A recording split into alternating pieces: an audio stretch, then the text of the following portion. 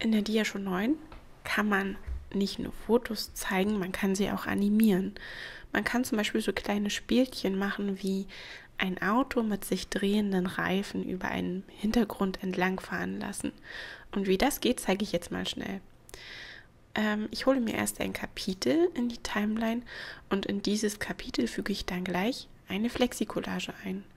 Jetzt sehe ich hier unten ist das Kapitel und dieses umschließt eine Flexikollage. Die Flexikollage ist jetzt natürlich noch leer. Und in diese Flexikollage kommt jetzt das Auto und auch die Reifen. Das Auto ziehe ich jetzt mal hier rein. da sitzt schon jemand drin. Und ähm, ganz wichtig ist jetzt erstmal, dass ich die Einblendung entferne. Und ich mache das auch gleich ein bisschen länger. Ich mache das mal auf 8 Sekunden. Und dann fehlen dem Auto hier noch die Reifen. Ich brauche jetzt nur einen Reifen, den ziehe ich mir hier rein. Entferne auch wieder die Überblendung. Und mache den auch wieder etwas länger auf 8 Sekunden. Jetzt verkleinere ich mir den Reifen, indem ich hier an diesen blauen Anfassern einfach ziehe und das auf die Größe bringe, die hier gut passt.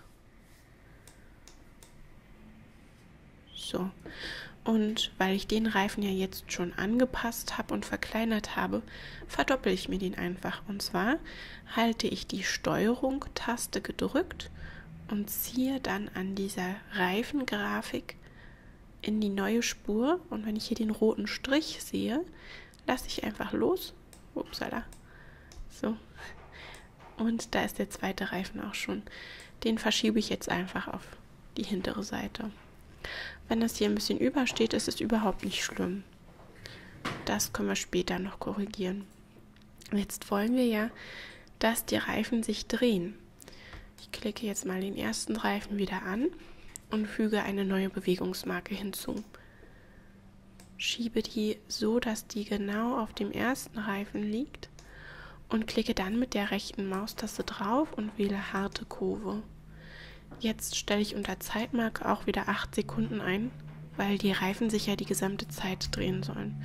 Und das mit der harten Marke, das habe ich gemacht, damit die Bewegung über die gesamte Dauer gleichmäßig abläuft und nicht am Anfang und am Ende langsamer wird. Um jetzt die Drehung hinzubekommen, benötige ich die manuelle Eingabe. Und dazu gehe ich hier auf manuelle Eingabe und da habe ich so ein Fenster, das füge ich mir gleich in die Programmoberfläche ein. Bei der zweiten Marke kann ich jetzt hier unter Drehung einen Winkel eingeben. Ich möchte, dass das Auto später von rechts nach links fährt.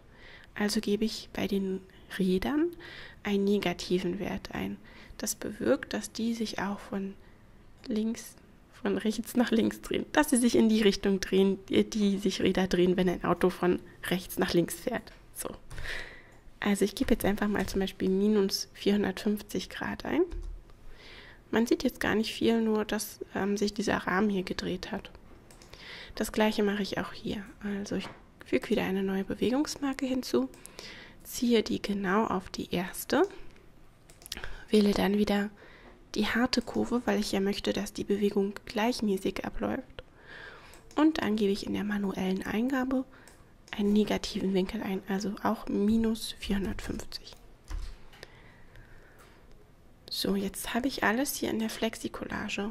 Flexikollage bedeutet, dass ich eine Gruppe von Bildern animieren kann, während auch Bestandteile dieser Gruppe animiert sind.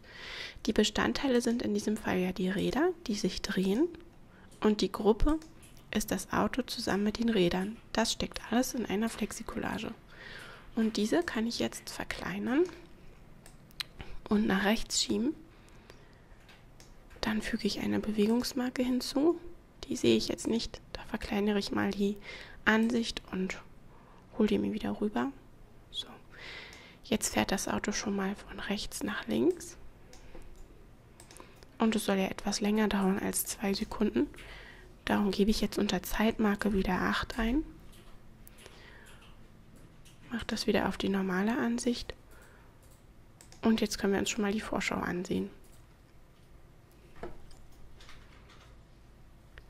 Der zweite Reifen hat sich jetzt aus irgendeinem komischen Grund nicht gedreht. Es liegt wahrscheinlich daran, dass da immer noch zwei Sekunden steht statt acht Sekunden. Also nochmal die Vorschau. Genau, jetzt fährt das Auto so entlang, wie ich mir das vorgestellt habe. Und jetzt fehlt noch der Hintergrund. Den füge ich im Kapitel ein und nicht in der Flexikollage. Ich klappe das Kapitel, äh, Entschuldigung, die Flexikollage jetzt mal zu und ziehe den Hintergrund hier oben rein. Auch hier wähle ich wieder keine Einblendung, stelle es auch auf 8 Sekunden und dann bei Seitenverhältnis stelle ich ein Zuschneiden. So, schauen wir es uns nochmal an. Jetzt rollt das Auto von rechts nach links durch das Bild. Und an diesem Beispiel kann man ganz gut erkennen, dass ich das Innere der Flexikollage, also die Räder, animieren kann. Und diese Animation bleibt auch bestehen, wenn ich ähm, die gesamte Gruppe, also das Auto mit den Reifen, nochmal animiere. Von links nach rechts, von rechts nach links fahren lasse. Ja, ich hoffe, das hat Ihnen geholfen.